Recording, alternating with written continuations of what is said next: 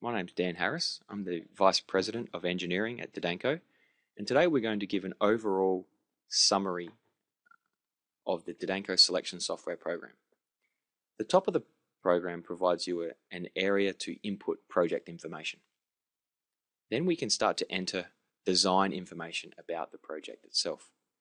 The cells that are colored in red or blue are input cells that are required in order to undertake design information and, and modifications. Cells that have text in black are just for your information and provide outputs. So we can enter the room design conditions for both cooling and heating in this location. And if your design incorporates a coil air on temperature that is different from the room design condition, that's entered in this location. The design condition of the primary air that comes from the air handling unit in both cooling mode and heating mode can be entered in these cells. We can also enter the secondary chilled water temperature and the heating hot water temperatures.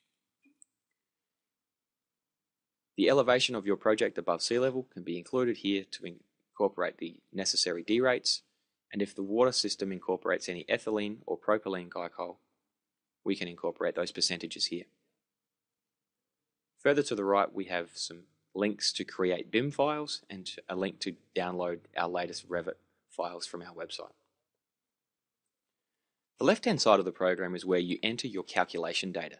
So all of the individual zone data is entered in this location. Next portion of the program is allocated for just useful information in order to evaluate the selections that you have to undertake. Then we get to the actual area of the program where we have to undertake the actual selections. We can vary the models of the active chilled beams or induction units in this via this drop down tab. And then from there on, we can adjust different technical parameters of the product, whether it's a two pipe or a four pipe system, the length of the product, whether it be two, four, or six feet in length. We can also adjust the uh, static pressure that the system's designed to operate at. We can also enter a various, various different flow rates for the primary air in CFM. The coil flow rates in both cooling and heating mode can be varied in order to achieve different cooling capacities and ensure that we keep the water pressure drops below a certain level.